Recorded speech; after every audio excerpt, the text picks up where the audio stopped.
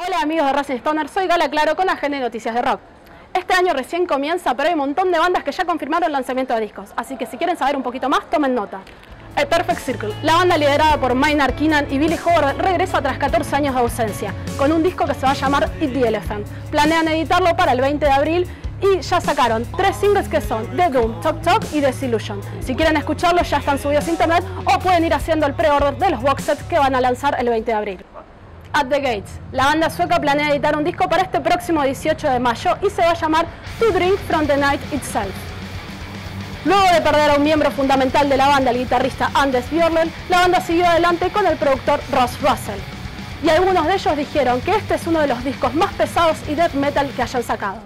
Ghost, sin fecha definida aún de la salida del disco, y tras atravesar algunos problemas legales que tuvo con los ex integrantes de la banda, que revelaron la identidad de Tobias Jensen, el hombre detrás de Papa Emeritus, la banda igual siguió adelante y planea editar un disco en la primavera de este año. Tobias dijo que este era el disco más oscuro de Ghost. El trío californiano no tiene fecha de lanzamiento aún, pero sí estuvieron adelantando y por código voz a través de sus redes sociales que están trabajando con Noah, el tecladista de Neurosis. Algunos rumores confirman que la banda estará editando finalmente el disco para diciembre de este año. Todo esto y mucho más en racingstoner.com.